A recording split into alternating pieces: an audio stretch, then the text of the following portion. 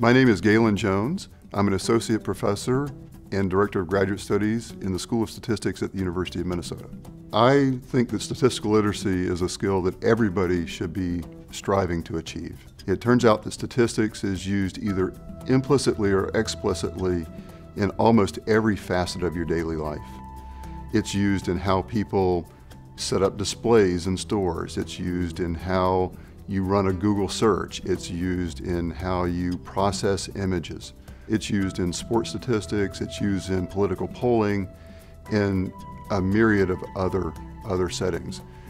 And so understanding how statistics works, how to think quantitatively about the world, even if that's not your primary focus, is something that everybody should be adept at in order to understand their place and their role and to make them more effective at navigating their way through it.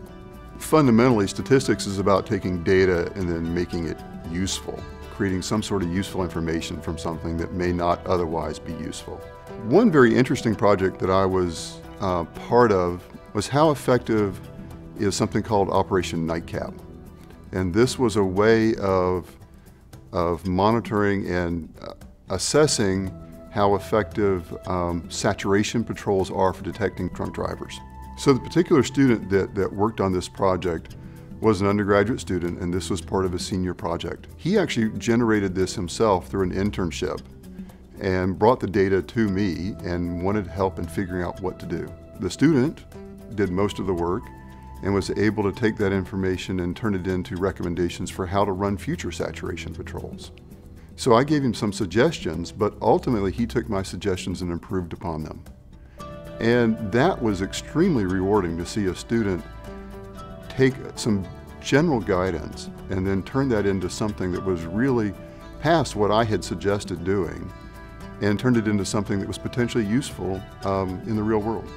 I think that, that, that a degree in statistics prepares you for a ton of jobs. That means that formal training in statistics would prepare you well for roles in medical research, in banking, in corporations, marketing, things like this of all sorts.